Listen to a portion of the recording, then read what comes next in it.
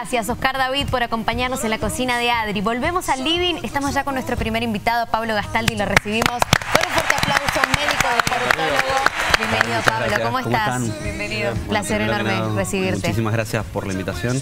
Siempre es un gusto venir a, poder divulgar un poquito de buenos hábitos, de lo que hago en el día a día en la consulta, etcétera. Así que muy agradecido. Lo decíamos al comienzo del programa, esta es la época del año en la que todos empiezan a volver locos con la actividad física. ¿Comenzás a recibir más consultas?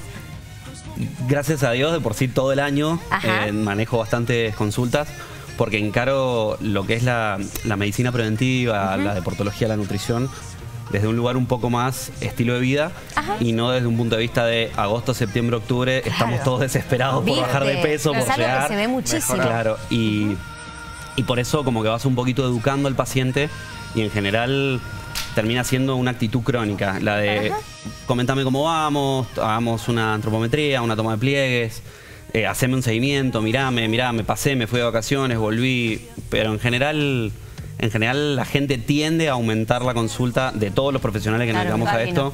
En esta época del año sí es, masivo, es tremendo. Sin dudas. Bueno, mencionabas un montón de, estudios que, capaz que nosotros no sabemos de qué se tratan, pero me gustaría que nos expliques bien qué hace un médico deportólogo. Bueno, dentro de, un poquito del universo de, de la deportología, pues es un universo aparte, tenés médicos que trabajan en lo que es prevención de lesiones, médicos que trabajan en, la farmacología del deporte. Lo Pero para deportistas de alto rendimiento o cualquier persona que haga una actividad física. En general para deportistas de mediano o alto rendimiento. Bien. Y yo elegí hacer algo un poquitito más social. Me gusta más el tema de, abarcar grupos más grandes. Y hago, hago deportología prescripción del deporte, nutricional, higiene del sueño, todo lo que sería los hábitos. Y mejorar un poquito, dormir más de noche. El descanso. el descanso, tener un descanso óptimo, herramientas para mejorar el descanso. Importante la alimentación previa para descansar bien. Viste que si por ahí uno come pesado muy cerca de la hora de acostarse a dormir, el sueño no resulta ser tan placentero. Eso, también ustedes lo, lo, ayudan, digamos, al paciente a eso. Claro, en la realidad lo que nosotros tratamos de, explicar, o lo que yo trato de explicar en la consulta, es que hay que manejar un todo, como si fueran las cuatro patas de la mesa.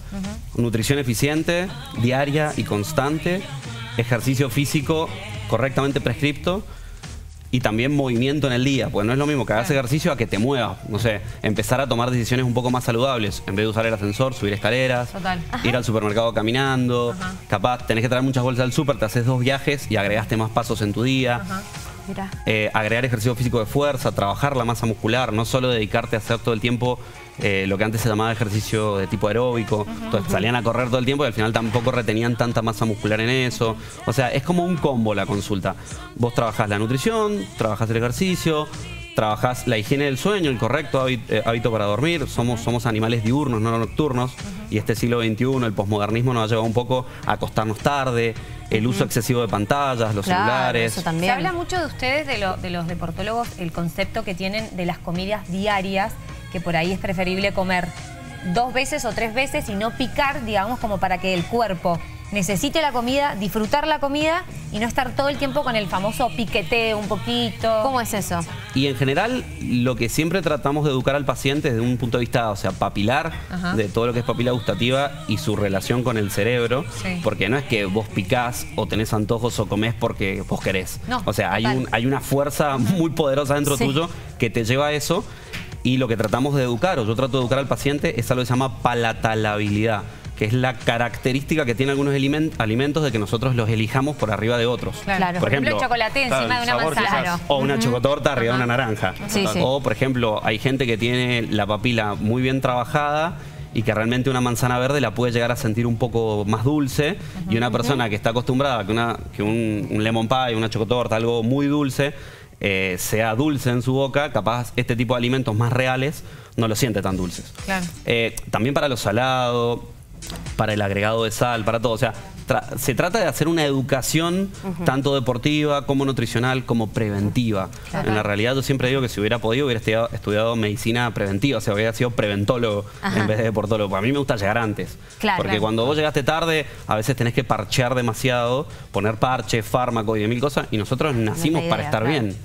Nacimos para pasarla bien. una persona que llega a la primera consulta y dice, che, yo no he hecho deporte en mi vida, pero me quiero empezar a mover, quiero empezar de a poquito. ¿Qué le decimos a esa persona? ¿Cómo arrancar? En general, en donde yo trabajo, que trabajo en Mendoza y, afuera también, mm. el 60-70% de mi consulta, porque soy un deportólogo que abarca a público en general, es justamente es esta gente, la gente que nunca ha hecho deporte o que fue deportista más joven o personas gerontes, o sea, mayores de edad, que quieren regresar al ejercicio, a comer bien, se sienten mal, crónicamente se han sentido mal y bueno, y por algún motivo terminan en mis manos y tratamos de, encuadrarlos, de empezar de a poco, algo que se llama return to play, o sea, la vuelta al juego, la vuelta a la alimentación saludable, la vuelta a, corregir el cronotipo, o sea, cómo dormís, en qué horario, es importante dormir de noche, es importante dormir sin luz. ¿Cuántas horas? Mira, lo recomendable es entre 7, 8 a 9, 10. Ya se está ah, hablando de horas constantes, nocturnas. Estoy, para esas 10 ¿Y qué, opinas, Pablo, de, los ayunos intermitentes? Ay, perdón, Luqui. de los ayunos intermitentes que tanto hoy están en las redes y la gente tanto habla. Se habla mucho de eso. El ayuno intermitente no, no es una dieta, es un protocolo nutricional o una estrategia nutricional que algunas personas, ¿qué pasa? Que cuando aparece algo nuevo, ayuno intermitente, dieta cetogénica, hace un par de años dieta paleo, lo que sea, todo el mundo eh, apunta a hacer eso porque es lo nuevo y en la realidad lo interesante y lo lindo de hacer una consulta de este tipo es que te van a individualizar. Claro. Por eso, porque no, es la misma dieta para todos. No, es la misma estrategia para todos, claro, correcto. O sea, en mi caso puntual, yo tengo pacientes que hacen ayunos intermitentes, que hacen reposos digestivos, que hacen Pero cetosis. Que con el proceso llegaron a hacer el ayuno, no es que Que hacen cinco comidas. Lo voy a hacer porque tengo que adelgazar y es... Claro, porque a veces también, si haces mal el ayuno, terminás en una situación que te faltan micronutrientes. Yo siempre lo pongo ejemplo como un banco. Cuando no entra plata al banco y vos seguís gastando plata, se empiezan a vaciar depósitos de ese banco. Lo mismo pasa, por ejemplo, con el cuerpo si estamos haciendo un ayuno intermitente y no nos estamos metiendo todos los macronutrientes, micronutrientes, vitaminas que necesitamos, el cuerpo los termina agarrando de algún lugar. Total. Entonces, Siempre es importante consultar. A ver, yo creo que, que, la gente pruebe y, e investigue y sea un poco autodidacta está bueno, porque si podemos ser autodidactas para entrar a un negocio de comida rápida y envenenarnos con ese tipo de comida, también podemos ser autodidactas para probar una ayunoterapia, si queremos, de 14 horas pero eh, sí al que tiene el acceso puede, yo siempre le recomiendo que haga una consulta, porque cuando llegan a la consulta algo que pasa siempre es que me dicen hasta que te conocí, yo pensaba que me movía mucho, o pensaba que comía bien, o pensaba que tenía buenos hábitos de sueño. Que estaba bien, que mi vida estaba bien. A mí me pasó, yo también, en la pandemia empecé con un deportólogo, pero fui porque dije voy a probar y me cambió la vida. O sea, los hábitos, el entender y el escuchar mi cuerpo y saber que tenía que comer cuando tenía que comer, no cuando mi cabeza me decía ese chocolate que está en la alacena está buenísimo, ¿viste? ¿Qué nos pasa? Y, cambia muchísimo el tema del sueño, del estrés y todo. Es, adquirir hábitos, en definitiva. Mira, yo siempre le, planteo esto a la gente. ¿Quién hace dieta? ¿Quién debe hacer dieta en el siglo XXI? Dieta, la palabra dieta. Un deportista de alto rendimiento o un modelo o un actor que tiene un objetivo puntual para ganar algo, sea un trofeo, sea dinero, sea lo que sea. Pero una persona como uno común, normal de, la población, realmente tiene que adquirir hábitos. Porque si vos te pones un objetivo, llego de acá a mi casamiento, de acá al 15, de acá a tal... Después volvés a hacer lo de antes y lo de antes no te hacía bien. Entonces al final se crea un círculo vicioso y no un círculo virtuoso y que lo único que perdés al final de cuentas es músculo. hoy en día que sabemos que el músculo es un tejido súper importante en el cuerpo. ¿Cuánto se demora la persona, por ejemplo, una persona que no es deportista, en notar cambios que eso también es significativo para uno. Y debe ser muy frustrante también al principio. de peso, entonces, claro, ¿cómo se evalúa eso? Sé que cada cuerpo es distinto, Lo primero a tener en cuenta es hacer la individualización y el contexto de una persona. Edad, qué hábitos de vida tiene, cómo duerme. No es lo mismo un sereno que ninguna día de su vida duerme de noche y sí duerme de día, dónde trabaja. O sea, hacer realmente es algo que se llama anamnesis nutricional, hacerla bien y anamnesis de hábitos. Y una vez que haces eso, empezar a cuadrarlo. Un tiempo estimado no te puedo decir, pero una persona que empieza a cambiar cosas que yo le llamo estructurales, quizás en dos, tres, cuatro semanas ya empieza a sentir una mejoría, un mejor descanso, se empieza a sentir mejor, se empieza a desinflamar. Ay, eso, es impresionante. Mira, comentabas al, principio cuando estabas hablando del tema del estudio antropométrico, que es lo que van a realizar ahora para sacar la ley de detalles, digamos, como para sacar las medidas estándares de las personas.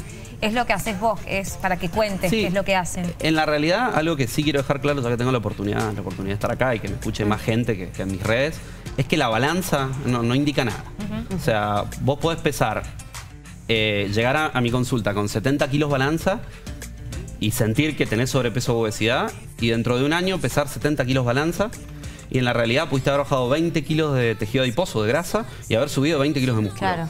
Y te vas a ver mucho mejor, te vas a sentir mucho mejor, tu estética corporal va a ser diferente, tu rendimiento y tu salud va a haber mejorado muchísimo. Entonces, ya hablar de balanza en siglo XXI es como solo como si fuera solo la balanza. Lo único que importa, ese número. Ese número, o gente que me, pacientes me dicen, yo me peso cinco veces al día. O tu balanza no es la misma que la mía, me voy a pesar en la tuya porque ah, peso menos. Y después tenés métodos que son un poquitito para sacar lo que de verdad es importante a siglo XXI, que es la composición corporal. O sea, cuánta masa muscular tengo, cuánta grasa tengo, cuánta, bueno, tejido óseo, piel y anexos que serían órganos, que Son súper tecnológicos estos estudios, están hay Estudios, hay estudios como por ejemplo la balanza de impedancia, hay otros estudios que, es como el, ideal, el gol estándar que no se lo haces a nadie porque la máquina es muy cara, que es el DEXA. Y si no, el estudio que, hacemos los cine antropometristas, yo soy cine antropometrista también, es eh, un estudio que es operador dependiente. Tenés un montón de, artefactos o de máquinas, pero que en la realidad son máquinas nada tecnológico y haces un trabajo mucho más manual y a través de diferentes algoritmos podés sacar ciertas medidas de composición corporal. De todas formas, a la persona que no es deportista de altísimo rendimiento, quizás eh, cuando se empieza... O sea, yo trato de sacar en mi consulta el foco del peso, el foco de cuánto músculo tengo. A ver, hay una realidad. ¿Qué importa si tenés 24 o 25 kilos de músculo? Lo que importa es que vos te sientas bien, que tengas un mejor descanso, que, que a nivel intelectual veas que rendís mejor en la facultad, en tu trabajo, en donde sea, que no vivís resacoso porque, porque estás todo el tiempo inflamado. Y ya lo demás realmente eh, son añadidos. Y siempre le explico a los pacientes en la primera consulta, vos ahora sos un bebé, estás aprendiendo a gatear. Y dentro de un año y medio vas a volar dos años. bueno esto que decís. ¿eh? Eh, y por eso hay que ir despacio, hay que ir tranquilo, no hay que volverse loco. y a los pacientes todo el tiempo los tenés que estar frenando. frenando. Porque se van de rojo. porque tienen, tienen objetivos a veces que no son reales y a veces que son cortoplacistas. Y lo, que fácil viene, fácil se va. Es la, gente joven la, que tiene, por ejemplo, los los a corto plazo son más... Y eso que se viene el verano, esa necesidad de ya de... Está, está bastante repartido porque eh, tenemos la, típica dieta de los 80, 90 y 2000 y la persona que vivía esa dieta cuando tenía 20, 30 años y tiene 50, 60, 70. ¿Qué es la keto? No, no, una, la dieta de, por ejemplo, comer muy poquitito, ah, dietas de, 80 calorías, de 800 calorías, etcétera. O la típica dieta que se promocionaba en esa época y esa gente hoy en día que tiene 50, 60, 70, se quedó con esa idea. Entonces, esa idea es peligrosa. Que es la idea de comer poquito y moverse poquito. Y la otra idea que hay ahora también es de objetivos cortoplacistas. Quiero llegar al verano, quiero verme bien en dos meses, etcétera. Y nadie apunta a lo que realmente es importante. A la salud. Que es la salud. Porque la estética corporal es una consecuencia de buenos hábitos. Si vos tenés buenos hábitos, te vas a ver bien siempre. Total. Siempre. Te vas a ver estético, te vas a ver definido, vas a tener una buena cantidad de masa muscular, vas a tener poco tejido adiposo y te vas a sentir increíble. Yo siempre le digo a la gente un poquito como que, como que está atrapada en una realidad que cuando salga va a decir, uy, ¿Cómo me permití vivir así? Lo que me estaba perdiendo. Tanto tiempo, lo que me estaba perdiendo, claro. es verdad. Eh, es optimización, optimización de tu calidad de vida. Por verse bien para los demás y no para uno mismo. me parece que ese es el fin del concepto. Qué bueno todo lo, que has mencionado, Pablo. La verdad que es un tema que teníamos muchas ganas de tratar y ojalá la gente haya podido captar este mensaje no volverse locos. Sí, se viene el verano, falta poquito, pero hacer todo de la manera más saludable posible, consultar a profesionales es lo que te recomendamos aquí desde Mejor de Mañana. Pablo, un placer enorme recibirte y ojalá muy pronto puedas volver a estar acá con nosotros. Gracias, un placer. Gracias.